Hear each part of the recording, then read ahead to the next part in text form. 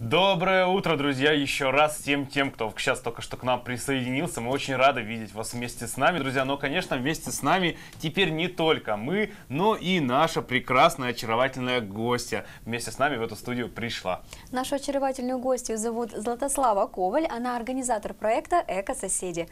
И, конечно, самый первый логичный вопрос, который хочется задать. Расскажите, что это за проект и в чем его суть? Да, Доброе утро, во-первых. Доброе, доброе. Здравствуйте. Очень рада быть здесь, общаться с тоже. такими солнечными людьми. А, Да, я представляю проект «Экососеди», являюсь его координатором. Это проект, как следует из названия, да, он посвящен экологии, посвящен раздельному сбору отходов, вторсырья. Вот. а Многие кировчане знают, что в Кирове есть такой проект «Вятка без мусора». Вы, наверное, тоже слышали. Да, Он конечно. такой достаточно известный. Вот. Собственно, «Экососеди» — это дочерний проект э, «Вятки без мусора». То есть это те же самые организаторы, автор проекта Анастасия Скурихина.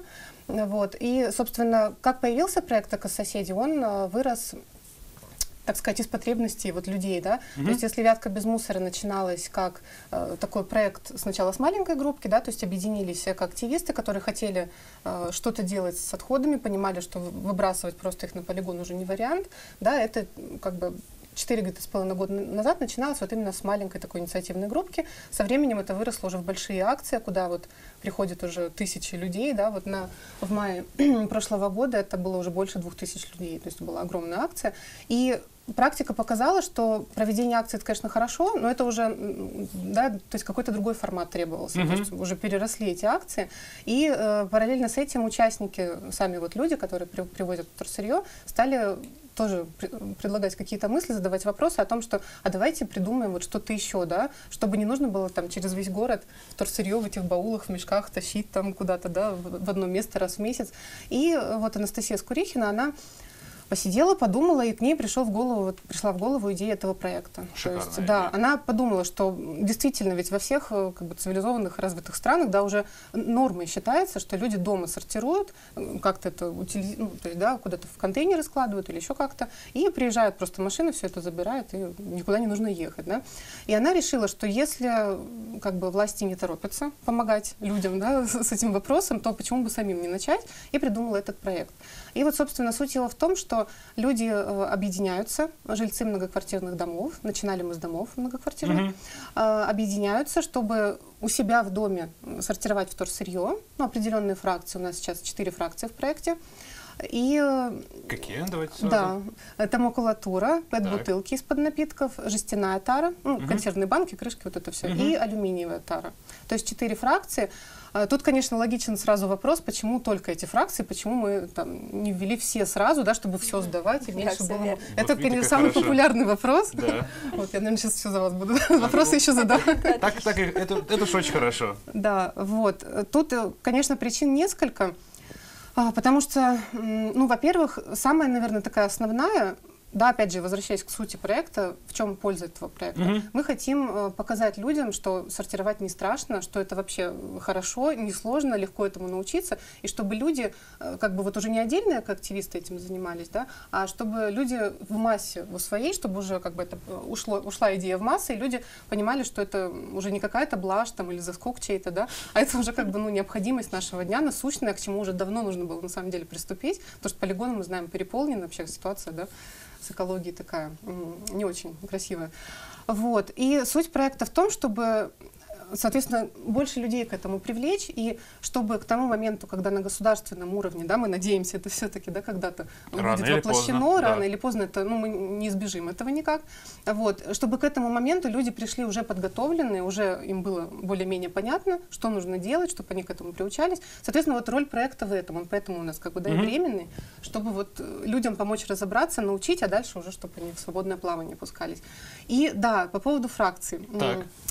Значит, э, если новичкам, вот есть же люди, которые разбираются в сортировке, а в основном-то люди, ну, есть еще те, которые совершенно об этом не думают. Для Да. них это вообще как какой-то другой мир. И если им сказать сразу, вы знаете, вот есть вообще около 20, там, 17 фракций, да, и давайте вот сортировать. Этот пакетик, там, четверочка пластик, Нет, этот это пятерочка. никто, этот наверное, То есть согласится. люди, если им сразу в лоб вот все это вывалить, всю эту информацию, они, как правило, пугаются. Пум-пум. Хватаются за голову, скажут, вы что, вообще, зачем мне это надо? В общем, какой-то лишний там, да, Был напряг один- в жизни. То есть и так напрягов вижу. полно. Тут мы еще должны думать, куда вот эти пакетики раскладывать. То есть как бы сразу начинать с этого не вариант. Вот, поэтому мы выбрали те фракции, которые, во-первых, с ними они не пугают. Это легко их собирать, да, то есть все понимают, что макулатура это вот она вот так выглядит, что пэт-бутылки это пэт-бутылки, это не, там, не 150 видов пакетиков, да. Вот, ну и, соответственно, алюминий и жесть тоже довольно легко разобраться. Особенно если магнит есть под рукой, магнитик Вот приложил. только это с помощью магнита лучше понимать или как-то вот можно уже Нет, можно, раз- конечно, в основном это понятно сразу. То есть обычно смотришь, вот это жестяная банка, это алюминиевая, да, но если возникают какие-то вопросы, там можно помагнитить. Ну хотя бы магнитится, лайфхак алюминий не магнитится. Хорошо. Куда это все потом? То есть, э, вот я, как обычный человек, да, Да. вот я на самом деле так делаю, честно скажу. Вот, но э, я долго, долгое время я просто не понимал, зачем я это делаю. Ну, то есть, э, я видел, да, там, особенно в другие города, если часто приезжаешь, то там всегда видно, там стоит вот там такой контейнер, зеленый, красный, синий, там, и там, допустим, желтый. Вот, чаще всего эти цвета. Вот, и люди туда складывают. Вот, но большинство, я уверен, что не понимают, куда потом это э, девается, что с этим делают. Да, то есть смотрите, у нас, э, значит, как все обстоит.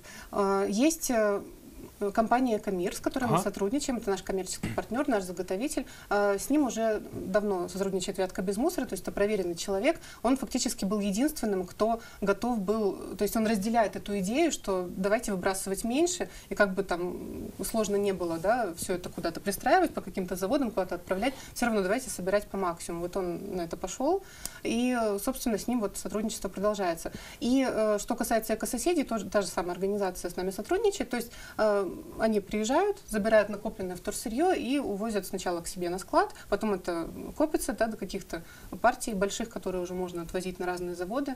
Тоже там все не просто, это все в разных регионах Мгм. находится, то есть какой-то вид сырья туда, какой-то туда. И потом перерабатывают, Да, и перерабатывается. Вот. И тут в чем еще э, такой момент с пакетами, например, если бы собирались пакеты, они же очень легкие. После, когда, Прессовки после особенно. прессовки они вообще практически не занимают места, ничего не весят. А с остальными фракциями проще. Их можно быстрее накопить, их более охотно вот берут заводы да, на переработку, и они более, так скажем, более-менее оплачиваются.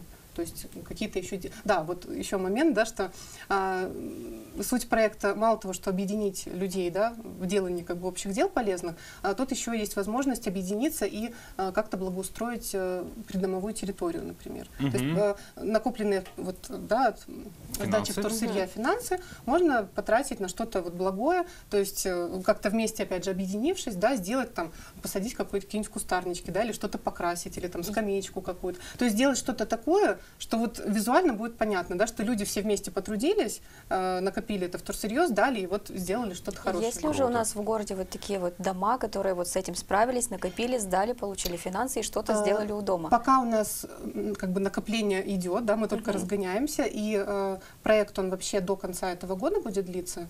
Вот, но активная такая фаза вот именно сбора сдачи вторсырья у нас заявлена до конца сентября. Мгм. То есть потом в октябре, в ноябре мы уже подводим итоги, под- под- как бы, да, смотрим статистику и как, будем проводить какое-то мероприятие еще в конце, объединяющий какой-то праздник, где мы будем чествовать наиболее активных участников. Вот Будем- это будем- круто. Да, мы будем разыгрывать еще призы. Ну, то есть понятно, что это не самоцель, но это такой приятный бонус, который, может быть, кого-то простимулирует, ну и вообще приятно, да? А как вот многоквартирные дома к вам вступают в проект?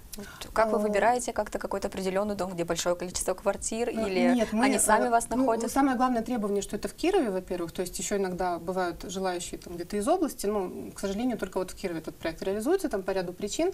Вот. А так вот особых требований никаких нет, потому что э, в целом вообще, конечно, возникают проблемы. То есть мы столкнулись с тем, что э, людей сложно раскачать, да, то есть люди, когда слышат, что ведь как проект выглядит, не то, что мы приехали, там, установили контейнер, мы контейнер, кстати, не устанавливаем, мы используем, вернее, э, люди у себя дома используют общедомовое имущество, то есть какое-то свободное, э, там, допустим, мусорокамера не используется, да, пон- там заварено стоит, ее можно открыть, там, подмести и, собственно, складировать там вторсырье. То есть нужно какое-то помещение. В доме с контейнерами там не так все просто.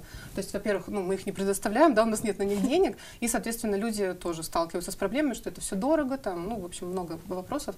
Ну, Вот, если поэтому- что, оказать поддержку вы можете.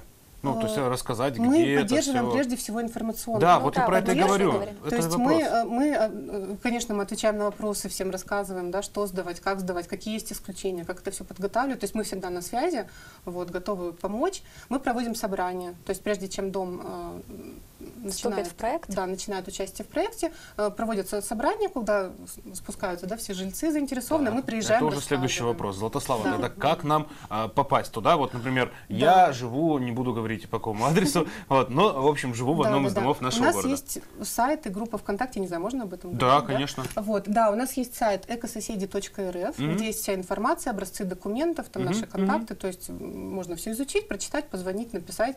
И группа ВКонтакте тоже называется «Экососеди», то есть в нее можно зайти, там тоже и можно и сообщения нам написать, мы оперативно реагируем, и с другими инициаторами пообщаться. Кстати, у нас есть чат. Вот кому сложно, допустим, одному начинать, да, человек может нам написать, мы добавляем в чат, где он э, задает тоже вопросы, ему другие участники отвечают, что-то советуют. То есть все решаемо, и вот я хочу, да, пользуясь случаем, Конечно. обратиться, что вот у нас... Вот, э, пожалуйста. Да, у нас заявок было достаточно много, и сейчас они продолжают поступать, больше 170 заявок уже.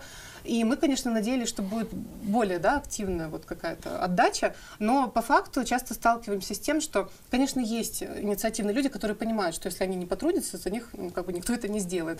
Но часть людей думает, что вот они подали заявку, и, собственно, все, как бы, то есть мы приедем, все остальное сделаем. По факту не так, то есть нас всего в команде трое человек. Понятно, что мы не можем э, приезжать и вместо логично. инициативных людей За общаться с жильцами. Да? То есть наша город, да. задача помочь, стартануть, все объяснить, показать, да, и вот предоставить потом ну, вывоз, да, вот это все.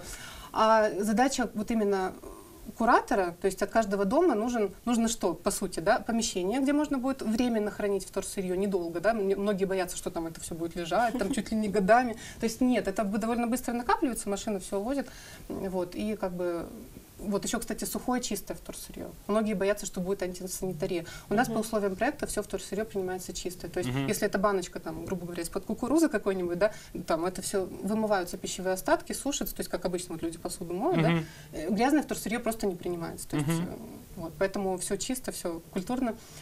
А, вот, и что-то я мысль потеряла, о чем я говорила. Да, там. Слушайте, а давайте... А, про заявки, да, Да, говорила, верно. что, а, И, соответственно, а, подавая заявку, э, человек должен знать, что вот есть помещение, которое он может использовать, и э, он сам готов дальше, да, вот это все Контролировать. да, контролировать, общаться с жильцами, что-то им объяснять, потому что мы, как организаторы, да, мы контактируем с представителем дома, вот кто заявитель, да, кто подал заявку. А дальше он уже сам должен работать, конечно, опять же, с нашей помощью, но в основном, конечно, работа его. То Ну, общем- проводить сборы, там, открывать это помещение раз в неделю или там, раз в две недели. Вот. Но, по сути, это не так сложно, это достаточно легко, то есть схема вообще простая. Но Главное проявлять инициативу, как и везде в жизни, я думаю, чтобы всегда. быть- делать что-то к лучшему. Златослава, у меня еще такой вопрос. Расскажите, пожалуйста, я так понимаю, очень много энергии тратится для того, чтобы работать со всеми этими э, огромной просто количеством людей, целый пласт, я бы да, сказал уже, 170 домов, вы только заявки, говорите, подали. А, делаете ли вы утреннюю физическую зарядку, чтобы быть бодрой?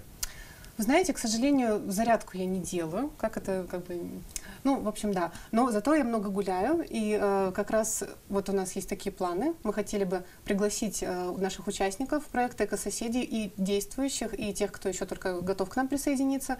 Э, завтра, во вторник, 31 марта, мы решили прогуляться, то есть будут ор- организаторы проекта «Экососеди», и все желающие могут к нам присоединиться в парк э, в Александровском саду. Мгм. Мы собираемся в 2 часа дня у памятника Александру Грину. Мгм. И просто дальше все собираемся, идем по набережной, может быть, какой-то даже мусор, да, собираем, знакомимся, рассказываем о проекте. Ну, в общем, такая приятная вот прогулочка совместная. Поэтому, пожалуйста, не стесняйтесь, кто хочет узнать побольше о проекте э, и вообще прогуляться, пообщаться, приходите. Завтра будем ждать. Ну что ж, отлично, отличное, друзья, приглашение, поэтому если вы э, завтра не знаете, чем себя занять в 14.00, то у вас есть отличный шанс э, вместе с проектом «Э- «Эко-соседи» сделать не только, э, как говорится, добро, но чистоту еще в городе навести, поэтому приходите обязательно. Ну, а помимо всего этого, как мы уже э, только что выяснили, зарядку нужно делать всегда, чтобы быть бодрым и заряженным на весь день, поэтому прямо сейчас смотрим и заряжаемся.